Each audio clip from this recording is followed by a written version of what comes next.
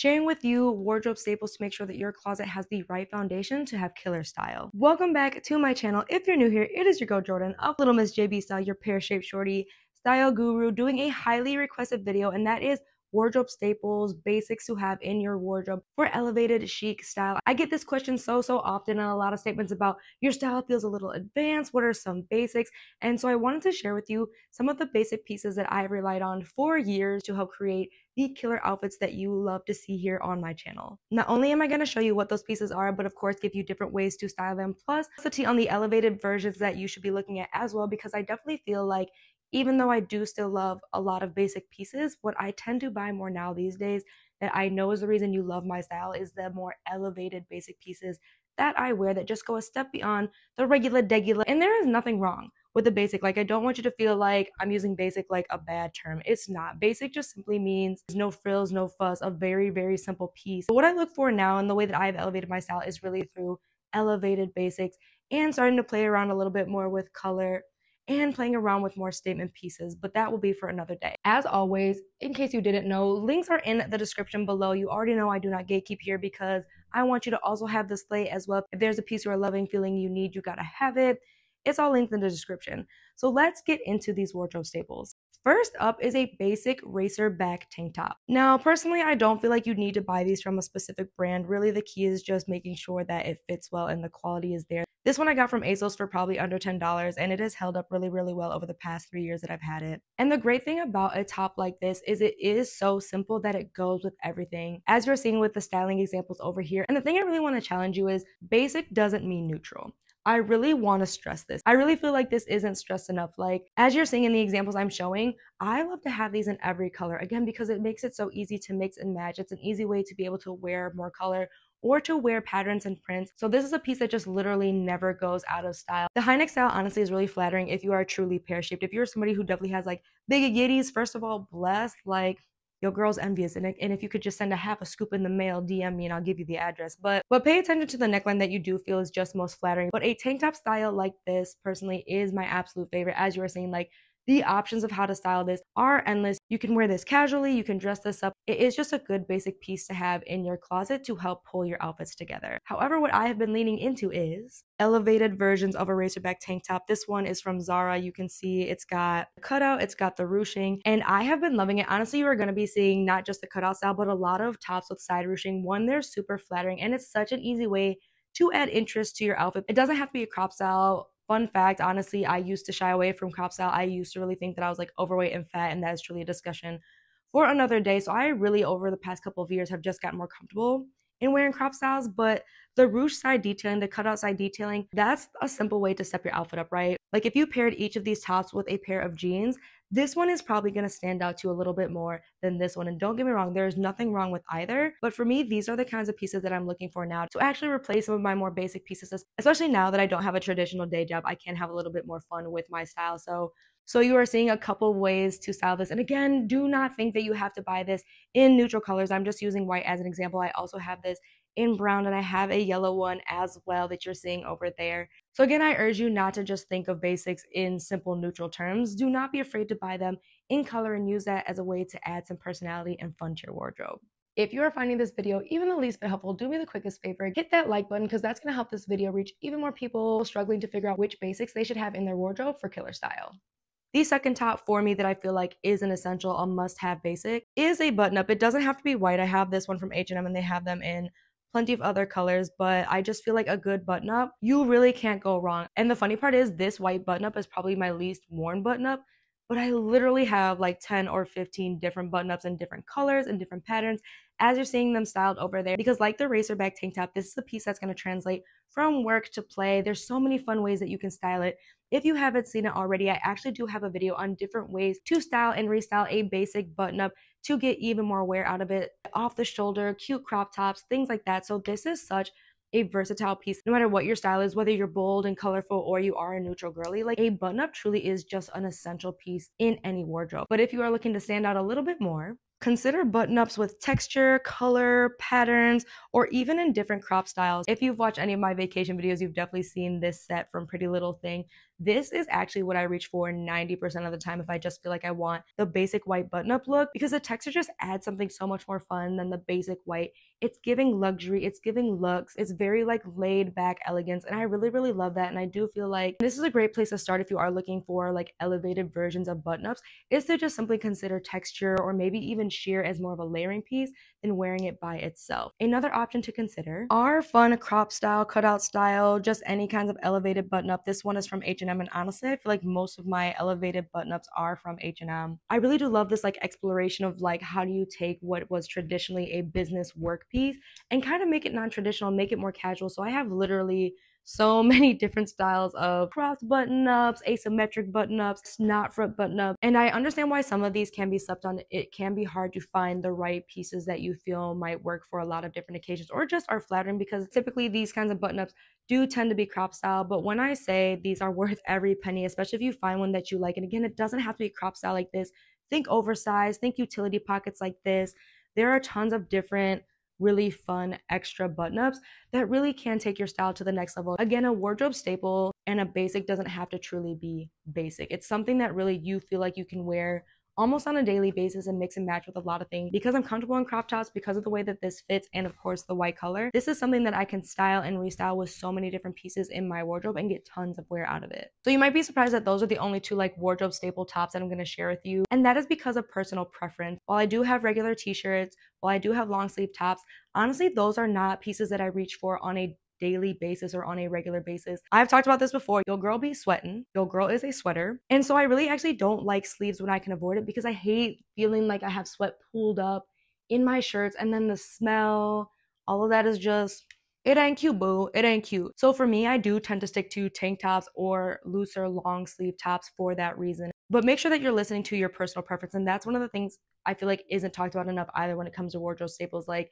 I could just share with you a bunch of pieces that obviously everybody anybody can have in their closet and make work, but I'm sharing with you what my wardrobe staples are because of my personal preferences. Truly, what makes a lot of people's style comfortable isn't the basics, more as how they style those basics or pair it with other basics or find elevated basics. As a former tomboy, if you asked me like my wardrobe staples years ago, I would say literally for bottoms, just a pair of jeans. That's it. Like thinking back now that I've left my like day job, I was allowed to wear jeans at the office. And if you truly don't like workwear, you truly don't like trousers, things like that, unless you honestly have to wear them for work, I wouldn't even bother.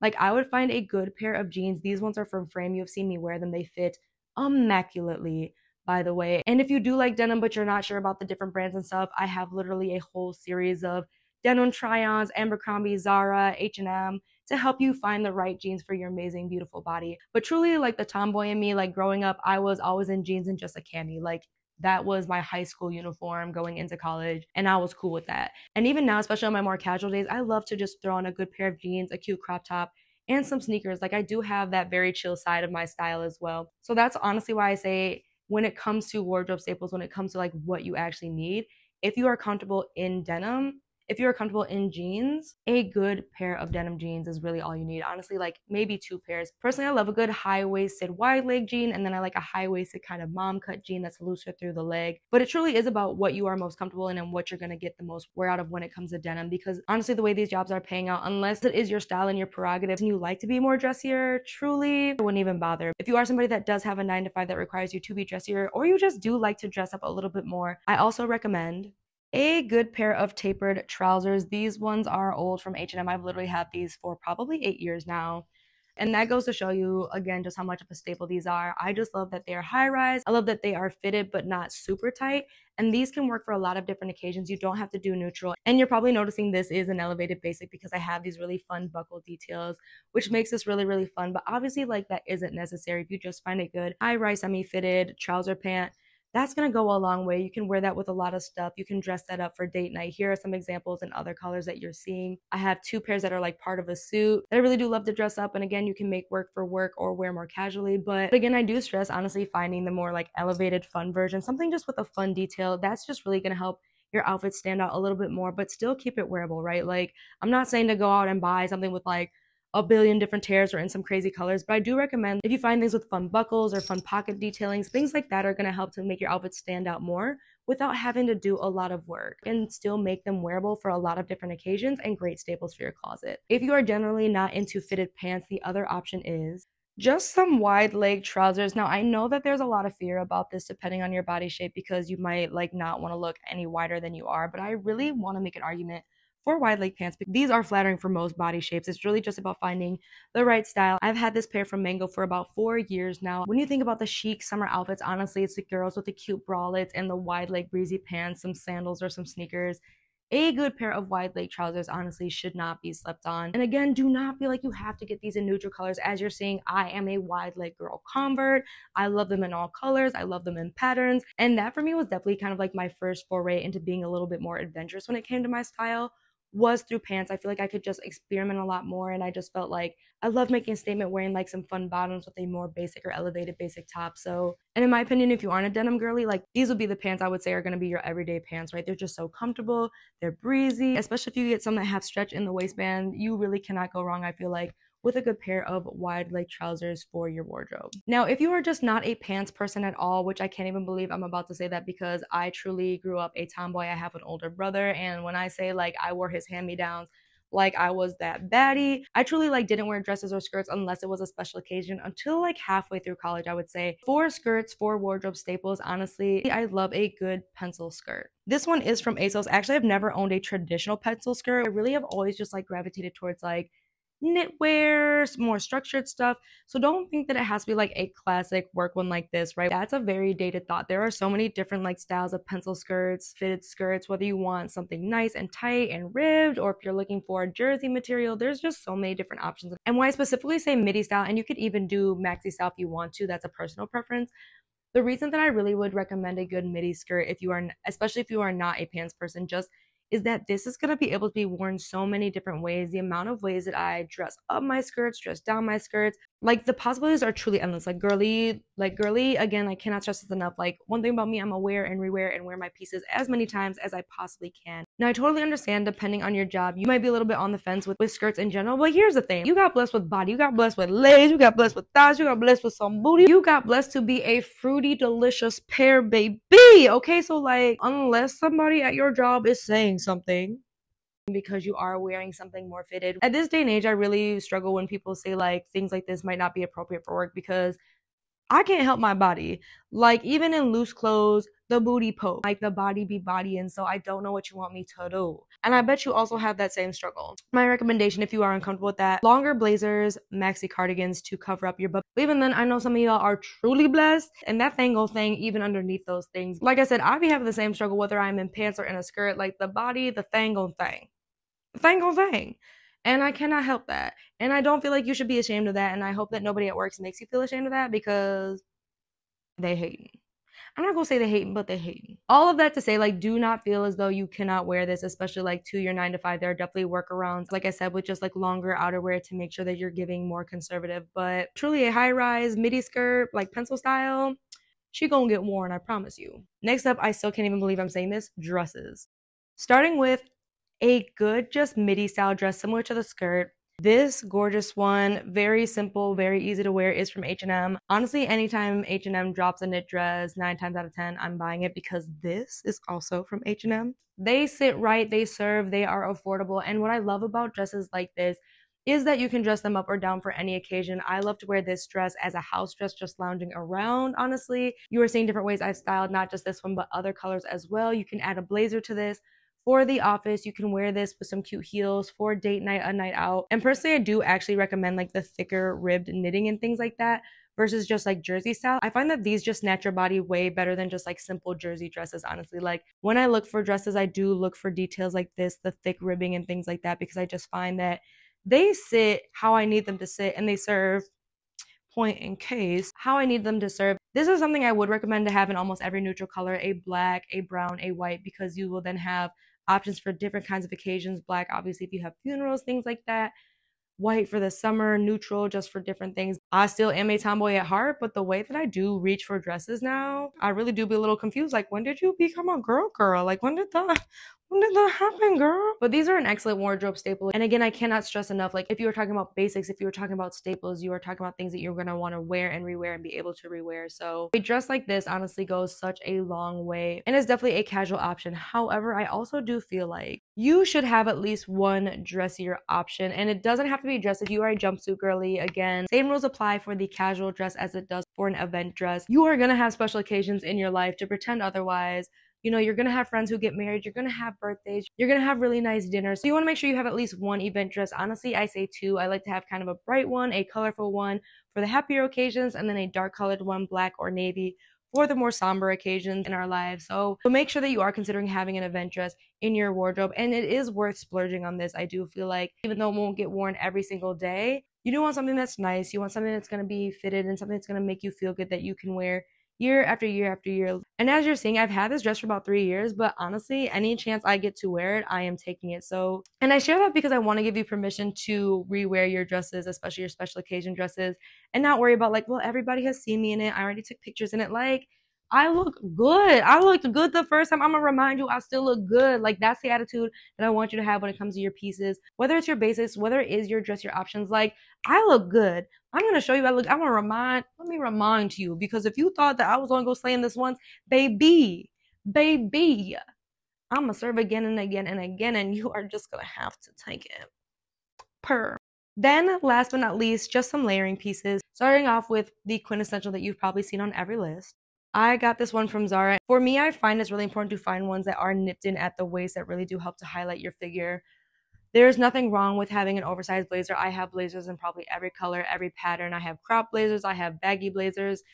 You really can't go wrong with a blazer, but I feel like if you're thinking of a classic blazer that's going to be something you wear year after year, you are going to want it to be semi fitted. You are going to want it to make you feel good and look good. And I do feel like the downside with, I would say, at least the oversized blazer look is that depending on like if your weight fluctuates or something like that, it could go from this is cute and oversized to like I'm drowning and looking homeless.